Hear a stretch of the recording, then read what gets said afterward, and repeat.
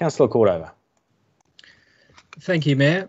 In light of the recent uh, announcement by the British government to invest some £2 billion in cycling infrastructure, the premise being that as a result of the COVID crisis, there will be a significant diminution in the number of people using uh, public transport.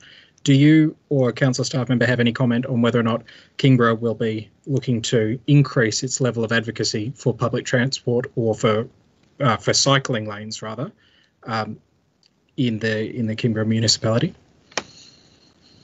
I think um, this is dealt with a little. Well, uh, it, it is in our agenda this evening, although admittedly that's bottom up from our um, cycling committee um, to council. But um, uh, I think a, a good initiative um, is not only our membership of organisations like Cycling South and having a bicycle committee, but uh, using the city deal for this type of investment would be, uh, well, would have been a good idea anyway, um, but appears to be an even better idea now.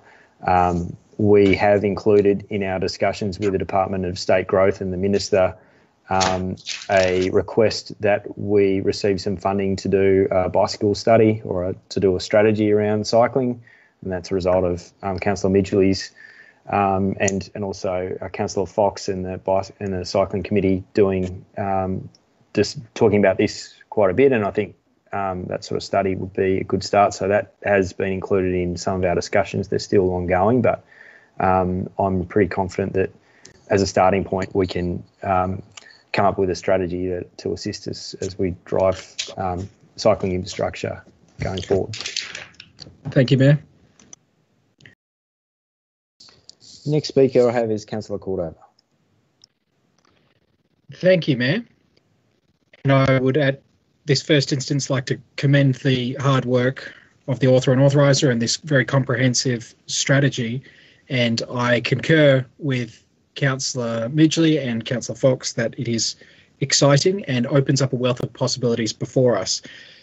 The particular areas of interest for me are the development of a civic spine that links the Channel Highway and John Street. And I endorse the notion of creating a new laneway or several new laneway experiences. I think it opens up a whole realm of possibilities, particularly 1D. I'll draw our attention to that on page 52, the discussion about pedestrian, active transport, and public transport options into and out of the town centre from the peripheral residential areas and surrounds. I wholeheartedly support the idea of healthy spaces and places and having a healthy by design approach where we consider health and well-being in all aspects of our planning and our execution of our our council services.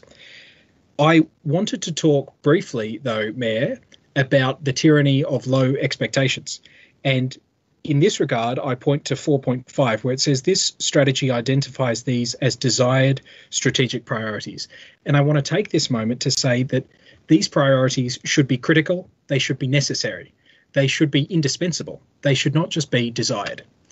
And whilst I fully endorse this strategy, and I fully commend the great work of the staff and of the, the entire consultation process and everybody who was involved with that uh, it's also really important that we as councillors open up our imaginations for how good Kingborough could be and how good our CBD could be. And with that said, I wanted to point us to 3A and 3B because to me that speaks volumes about what uh, the next 30 years for the Kingston CBD could look like. To bring nature into the centre through plantings, landscaping, and greenery. Networks of diverse open space, places for people to sit, stay, play, socialise, strategically located and connected throughout the precinct. To me, it's so exciting that we have this opportunity, and I think it's critical that we have this long term vision, a 30 year plan. And the reason for that is we never know when the next city deal will come and knocking. We'll never know when that next opportunity is there. And that's why it's critically important to have these shovel ready plans available so that we're able to make the most of those opportunities when they come to us. But I love this idea that, and it's in 4.10, that Kingborough should, or Kingston should be a place that is a green, walkable, and engaging place to stay and visit. I note that the risks that have been identified in this very comprehensive report that's full of fascinating tidbits. So I, I, really encourage everybody listening to take a look at the report in its entirety because there's all kinds of interesting facts and figures in there. But when we look at what the primary risk is of this of this uh, initiative, the primary risks involved with the adoption or otherwise of the Kingston Place strategy relate to stakeholder expectation that there are now going to be heightened public expectations and it's going to be necessary to communicate the real constraints that we have as a result of the, the COVID crisis, as a result of the financial crisis, and going forward, the many obstacles that I have no doubt that we will face in implementing this vision. But so important is that we as individuals choose to widen our expectations of what council can provide, to widen our imagination of what a livable city looks like so that we always put health and well-being at the heart of every decision that we make so that we always put healthy by design principles into our day-to-day operations and that we dispense with the tyranny of low expectations and we look to places which are doing it right places which are resplendent with green walls and renewable energy on every rooftop places that are, are beautiful to look at and enjoyable to sit and stay and wonderful to visit um, these places are all over the world. There are some places here in Tasmania, places on the mainland. Look at New Zealand or look at a number of places throughout Europe where they have made cities livable through visions like this. So I commend the work once again of everybody involved in putting this together. I look forward to seeing its implementation, and I also encourage each and every one of us to strongly consider the imagination and to strongly consider our expectations and to expect much more of council, of planning, and of the future Kingborough than we currently expect. And to that end, I really would look forward to seeing a new specific area plan with teeth, something that can actually encourage, because I, I wholeheartedly agree with the Mayor that it is better to be bringing along stakeholders and business owners and have them voluntarily contribute to this vision. But I also recognise that to do business as usual, uh, some, you know, the the, the definition of insanity is to do the same thing over and over again and expect a different result. And if we haven't seen people springing voluntarily to some of these initiatives, then there could very well be a time where, by promoting this vision, by strongly encouraging it, and also potentially elements here and there to mandate them in the new specific area plan, well, I look forward to that conversation when we have it. But thank you once again, and that's all from me. Thank you, Mayor. Thank you very much, Mayor. And thank you, sincerely, thank you to all of the staff who put this together and all the staff at Kingborough Council who are doing such an incredible job in such a difficult time.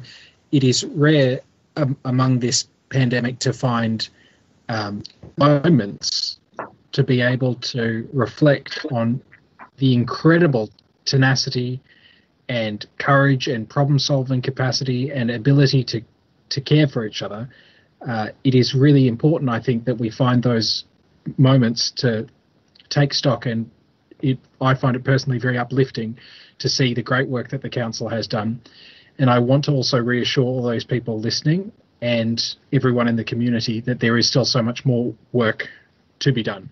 So, to quickly go over the objectives that are in this social recovery plan to ensure that relevant information is shared effectively, identify ways to support local programs that improve recovery outcomes, develop a consistent and coordinated messaging approach, identify localised health and wellbeing services who can be called upon to assist in recovery needs, and to develop long term responses to support social recovery. And it's this last point that I think is most important. So, we need to, I guess, focus on the fact that this is now a new normal and there is a huge amount of uncertainty baked into this system because we do not know whether there will be a second wave uh, of infections and we do not know um, what the future holds. What we do know is that there's been significant ramifications already on a, a vast swathe of people throughout our municipality. People who have lost jobs, uh, the generalised anxiety, the financial precarity. This is a time like no other. But what I would like to do is to recognise the good work that is currently being done, pledge to do more, and also to reshape and revalue our values our shared values on, on the council to make sure that at the other end of this crisis, that we still maintain the same sense of urgency with respect to taking care of people who are in vulnerable situations, to taking care of people with compassion and with support, and to reevaluate what's important in life. What's important in life is, is not money and profit. What's important in life is care, care and compassion. And so I have nothing but the highest praise for the staff at the Kingborough Council. And I think uh, whoever it was who just mentioned that on page, I guess it's on um, the list of yeah, so it's on page 986 of our of our council agenda, the emergency relief in Kingborough. These are all organisations that are listed here: Kingborough Helping Hands, Salvos, uh, the the Neighbourhood House, uh, Kingborough Family Church, St Clements, and Kingborough Community Missions. These are organisations which were doing great work in our community before the crisis, during the crisis, and will continue to do great work afterwards. And I look forward to a time after this crisis is over but I also hope that we maintain that same level of commitment to compassion and commitment to care that we're showing right now. So thank you once again. Back to you, Mayor. Thanks, Councillor Cordover. Uh, item 17.4, which is the Northwest Bay River multi-use oh, like trail feasibility one, study. Councillor Cordover would like to move it, and anyone second it? I'd be very pleased to second it. Councillor, Councillor Fox. Fox. would like to second it. Councillor Cordover. Thank you so much. Through you, Mayor, it is my great pleasure and delight to be able to commend this particular motion, and I would like to pay special tribute to the author, Sue Sprott, and uh, authoriser Daniel Smee, and all of the terrific contributors. This is a report that presents the draft Northwest Bay River Multi-Use Trail Feasibility Study, and this could really be a terrific addition to our already wonderful assets of um, multi-use trails throughout the municipality. And as a local resident of Allens Rivulet, I spend a good deal of time visiting Sandfly Reserve and uh, crossing back and forth across the beautiful Northwest Bay River. And it uh, is something that has been heavily advocated by local community groups for many years, as I'm um, made aware, particularly through the Trail Riders Action Club and also residents like myself and so many other people. So the notion here is that there will be a trail link uh, Longley reserved to Margate along the Northwest Bay River, and it was identified as a priority under the Kingborough Tracks and Trails Strategic Action Plan. I'm particularly uh, excited to welcome more people to the region, but also particularly mindful of the necessity of maintaining the importance of natural and cultural values um, throughout the municipality, but particularly in areas which are so precious environmentally and culturally as the Northwest Bay River is. So I'm very pleased to have read this uh, comprehensive and very fascinating um, feasibility uh, study. Um, and I know that um, the feasibility of constructing a multi-use trail from Longley to Margate along the Northwest Bay River was assessed through uh, various mechanisms, the trail route surveys, um, and natural values and preliminary community consultation, uh, there is a strong demand within our municipality for outdoor recreation, for tracks and trails, for passive and active recreation. It's incredibly important that we move forward um, with respect to natural and cultural values. I'm particularly interested to learn more, uh, including the Aboriginal heritage surveys, and to uh, I already note the um, the the terrific um, summaries there of the the other values, um, environmental values, flora, fauna, and so on. Um, we are experiencing rapid growth in this municipality, and as that growth takes place, there will also be greater demand for our tracks and trails and greater demand for the expansion of our existing trail networks. Um, so the expansion of this trail network within the catchment will enhance recreational values, increase community engagement, and provide broader social and economic benefits. And I'm particularly excited um, to note that we can uh, make this an opportunity where people become more connected with their community and they identify closer and have a sense of place. And that's why it's so important um, that we do those Aboriginal heritage surveys and we also um, work at speed to make sure that uh, this kind of an initiative is developed in, in a sensitive in a sensitive and environmentally sustainable way. So thank you once again to the creators of this report and I look forward to where it takes us. Thank you, Mayor. Okay, uh, Councillor Cordover. Thank you very much, Mayor, and I've been very pleased to hear the level of support around the table tonight about this uh, idea, and I am cognizant of the issues raised regarding financing. I will just say, I guess, uh, in development of that idea, that I'm pleased that there will be expectations and, and happy to some extent to realistically and reasonably raise those expectations because it's such a good idea and such a good project, and so many people have poured their heart and soul into it for many years. And looking at those list of people who were consulted, um, I know many of those people who have spent a long time uh, talking about this. And having grown up around that area and spent many an hour with my feet in the water, walking among the rocks there down at Sandfly at the reserve, um, it is such a beautiful area and it will be such a treasure for generations to come. And if ever you need something uplifting, you can always look to Appendix 2, the plant species recorded in the trail corridor. Um, what an uplifting and uh, terrific insight into the incredible biodiversity that we have in our municipality and how lucky we are to live in such a wonderful place. And that uh, doesn't even go even an iota towards mentioning the vast cultural history that exists in this area thousands upon thousands of generations. And um, I think that this will be a terrific project, and I hope that we can precipitate it and move it as speedily as possible. And I am one of those people with high hopes, and I think that we should have high hopes. We should have high expectations and a large imagination.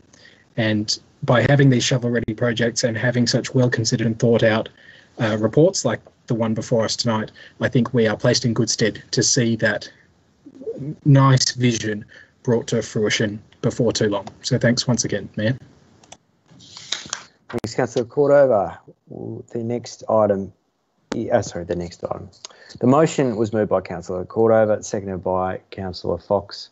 The motion is the council endorses the release of the draft Northwest Bay River multi-use trail feasibility study for public consultation.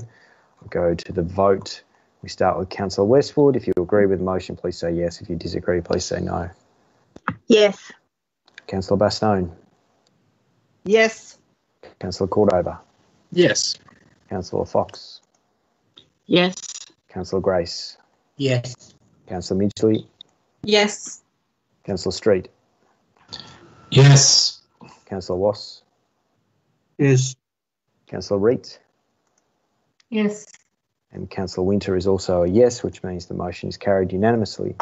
We move on.